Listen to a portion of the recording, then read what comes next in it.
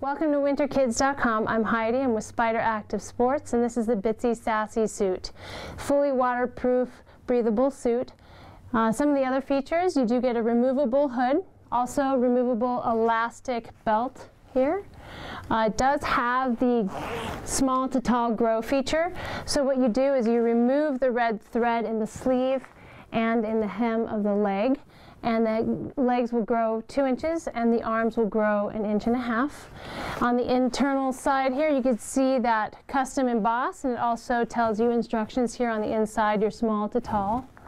And then you also have your scuff guards down here at the hem with your snow gaiter. And that's the Bitsy Sassy Suit by Spyder.